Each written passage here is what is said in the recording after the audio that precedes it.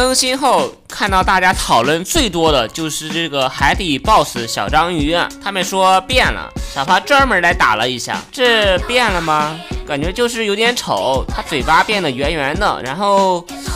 脸旁边四个小触手有点小，看着像长胡子了一样，别的好像也没变吧。然后就是现在所有 BOSS 的血条都变成黄色了，这个小趴觉得可以直接改成绿色，毕竟从小到大我看到的都是绿色的。如果让小趴去看的话，我肯定发现不了这章鱼改了。你们还发现哪些 BOSS 是改了的？告诉小趴，我一个一个去看。